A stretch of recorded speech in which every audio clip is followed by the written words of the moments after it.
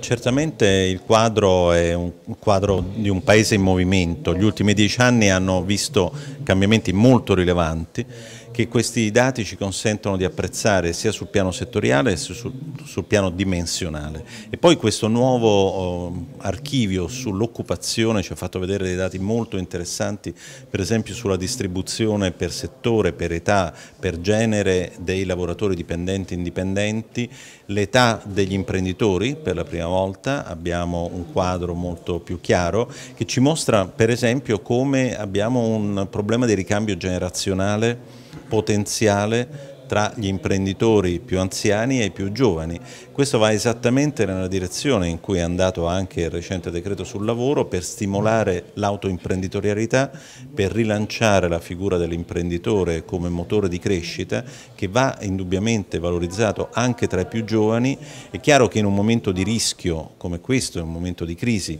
non è facile, però è anche importante riuscire a stimolare questa crescita dell'imprenditorialità, dell'innovazione e proprio in questa direzione vanno alcune delle misure che abbiamo adottato.